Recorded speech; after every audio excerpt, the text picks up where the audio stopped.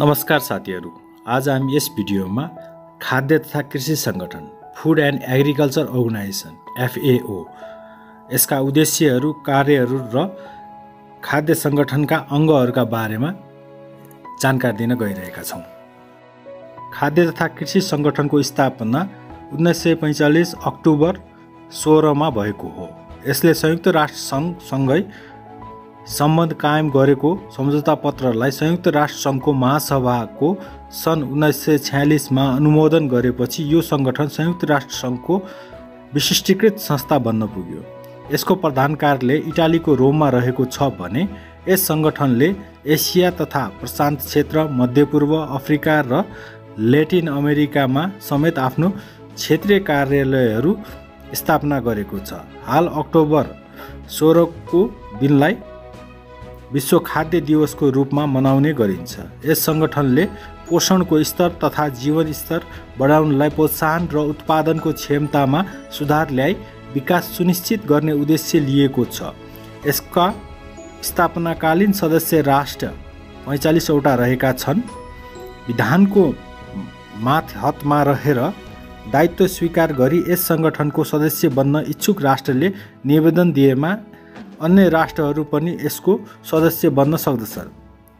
हाल यस सङ्गठनको सदस्य सङ्ख्या एक सय नब्बे रहेको छ।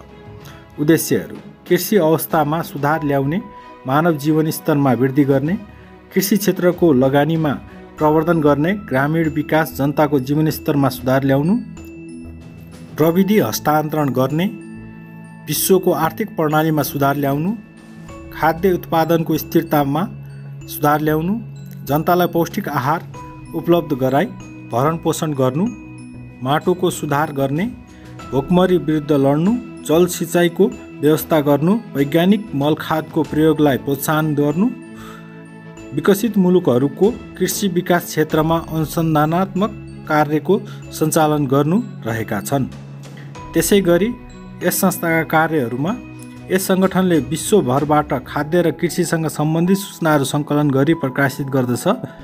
कृषियोग्य भूमि सिँचाइको व्यवस्था विकसित बाली आदिमा गरिने लगानीलाई प्रोत्साहित गर्दै विकासोन्मुख राष्ट्रहरूमा प्राविधिक हस्तान्तरण तथा कृषि अनुसन्धानको विकास गर्दछ। खाद्य सङ्गठनका अङ्गहरू। महासभा परिषद र सचिवालय रहेका छन्। महासभा। यस महासभामा प्रत्येक सदस्य राष्ट्रको प्रतिनिधित्व हुन्छ। महासभाको अधिवेशन प्रत्येक दुई वर्षमा एकपटक बस्ने गर्दछ। कार्यहरू।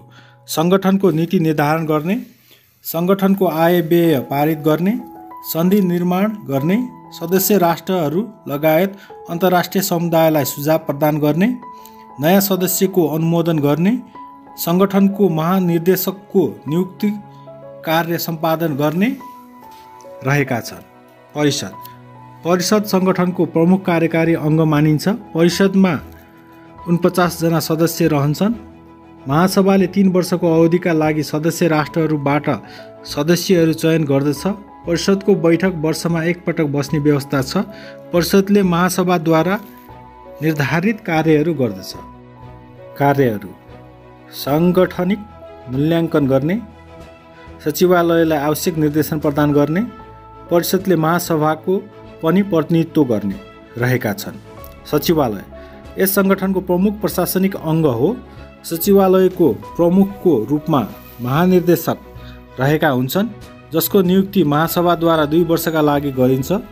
सचिवालयमा विशेषज्ञहरू तथा अन्य प्रशासनिक कर्मचारीहरू पनि हुन्छन्। यस सचिवालयका कार्यहरूमा सङ्गठनको सम्पूर्ण कार्यक्रमहरूको रेखदेख गर्ने सङ्गठनको प्रशासनिक कार्य सञ्चालन गर्ने महासन्धि र महानिर्देशकले तोकेको कार्य गर्ने सङ्गठनको क्रियाकलाप सम्बन्धी प्रतिवेदन महासभामा प्रस्तुत गर्ने आदि रहेका छन्। यो भिडियो अन्तसम्म हेर्नुभएकोमा धन्यवाद छ र मन परे लाइक र सब्सक्राइब गर्न नबिर्सिनुहोला। नमस्कार।